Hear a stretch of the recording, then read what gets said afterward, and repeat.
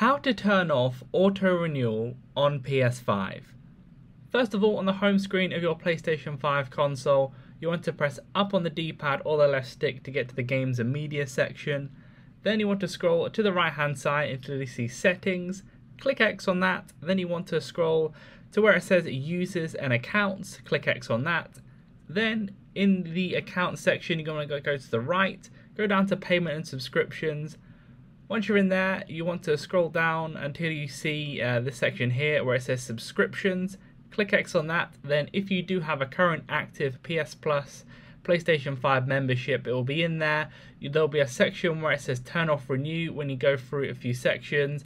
Once you went through those sections, you've turned off auto renew once you put in your details, etc. Then it will have turned off auto renewal on your PS5.